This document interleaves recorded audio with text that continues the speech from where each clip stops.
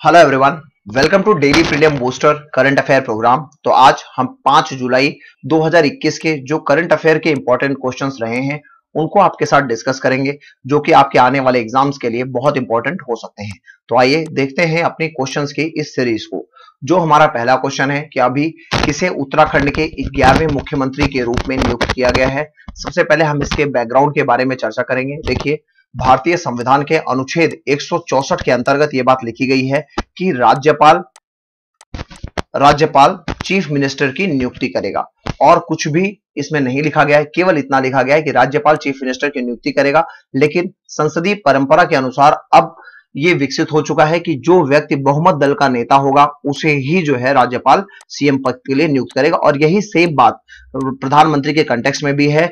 जो भी व्यक्ति बहुमत दल का नेता होता है लोकसभा में, उसे राष्ट्रपति प्रधानमंत्री के लिए नियुक्त करते हैं। एक और सबसे इंपॉर्टेंट बात क्या है कि जो सीएम और पीएम का कार्यकाल है, इसको याद रखिएगा, जो सीएम और पीएम का कार्यकाल है, वो निश्चित नहीं है। अगर कभी भी आपसे एग्ज़ाम में पूछ ले कि क्या इनका कार्यकाल पाँच साल के लिए होता है तो ये पाँच साल के लिए नहीं होता है, ये राज्यपाल और राष्ट्रपति के प्रसाद पर्यंत कार्य करते हैं, ठीक है? जब तक इनका बहुमत लोकसभा और विधानसभा में बना रहता है, तब तक ये मुख्यमंत्री और प्रधानमंत्री के पद पर रह सकते हैं, ठीक है?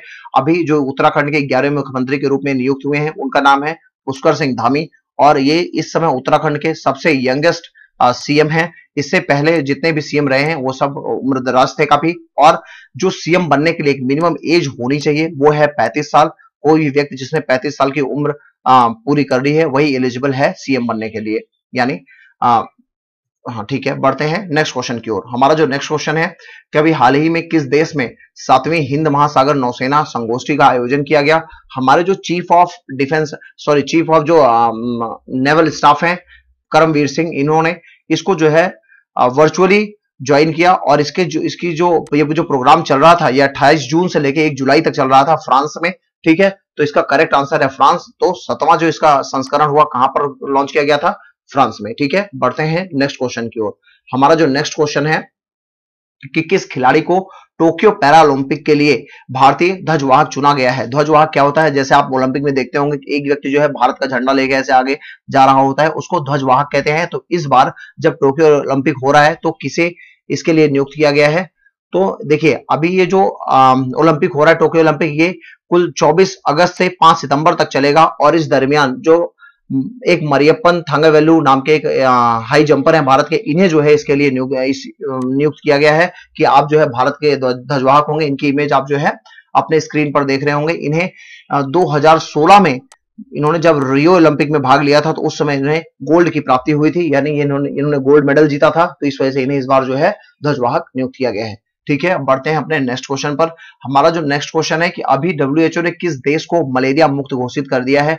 अभी देखिए अभी तो ये चीन को घोषित किया गया है लेकिन 2021 में ही एक और देश है अल सल्वाडोर जिसको जो है आ, मलेरिया मुक्त घोषित किया गया। पिछले चार साल में चाइना में किसी भी प्रकार के आ, मलेरिया के केसेस देखे नहीं गए हैं ठीक है। अगर हम एक नज़र डालें वर्ल्ड हेल्थ ऑर्गेनाइजेशन के बारे में तो इसका हेडक्वार्टर है जिनेवा, स्विट्जरलैंड में और इसकी स्थापना हो, हुई थी सात अप्रैल 1948 की। और ये एक यूएन बॉडी है, यानी यूनाइटेड नेशन बॉडी है। ये याद रखिएगा एग्ज़ाम में कभी कभी ये क्वेश्चन पूछ, ये क्वेश्चन पूछ लेता है। और इसके जो फाउंडर फाउंडर्स स्टेट रहे हैं, वो है यूनाइटेड स्टेट यानी यूएसए यूके और ब्राज़ील कनाडा और टर्की और भी कुछ अन्य देश थे, ठीक है? बढ़ते हैं नेक्स्ट क्वेश्चन की ओर। अभी हाल ही में आपने सुना होगा कि जम्मू कश्मीर पे जो भारत का, भारत सरकार, भारत का जो एक एयरफोर्स एयरफोर्स स्टेशन है, वहाँ पर क्या हुआ कि ड्रोन से हमला हुआ, इसी को देखते हुए अभी हैदराबाद स्थित गिरेने रोबोटिक्स कंपनी ने एक स्वदेशी डिफेंस ड्रोन जो है विकसित किया है, उसका क्या नाम है? तो इसका नाम है इंद्रजाल। याद रखिएगा, ये एग्ज़ाम के परस्पेक्टिव से थोड़ा सा इंपॉर्टेंट हो सकता है।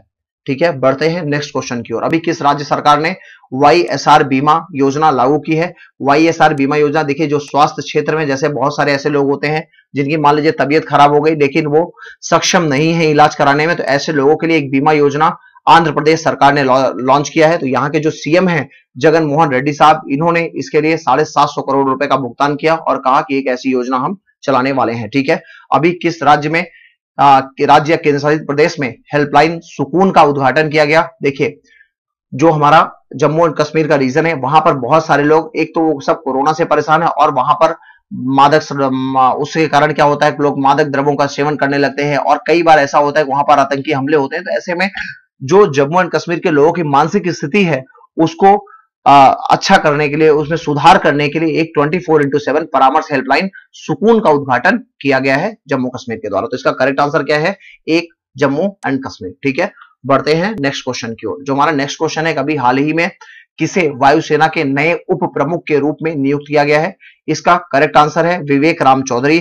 इन्होंने जो इसके पहले वाइस एयर मार्शल थे, हरजीत सिंह अरोरा, उनको रिप्लेस किया। और इससे पहले जो है Vivek Ram Chaudhary ji commander in chief थे वेस्टर्न एयर कमांड में, ठीक है? तो इन्हें जो है अब vice vice chief of air force घोषित कर दिया गया है, ठीक है? बढ़ते हैं नेक्स्ट क्वेश्चन की ओर। अभी हाल ही में भारतीय शोधकर्ताओं ने किस राज्य में ब्लैक ब्लैक बैलिड कोरल सांप खोजा है? ये देखिए ये आप इमेज देख रहे हैं, ये है ये है वो इमेज जो ब्लैक बैलिड कोरल सांप का है और इसको इस बार इस बार खोजा गया है उत्तराखंड में।